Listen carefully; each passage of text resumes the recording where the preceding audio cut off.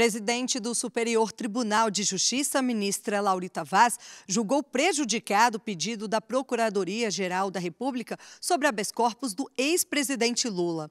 O pedido apresentado pela PGR era para impedir a ordem de soltura do ex-presidente Lula, determinada pelo desembargador plantonista do Tribunal Regional Federal da Quarta Região, Rogério Favreto.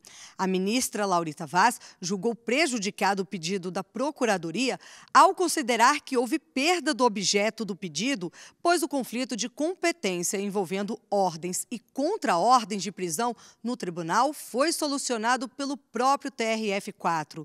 No último dia 8, o desembargador plantonista Rogério Favreto determinou a soltura de Lula, mas o presidente do tribunal, Thompson Flores, manteve a prisão. A própria ministra já havia decidido sobre o tema.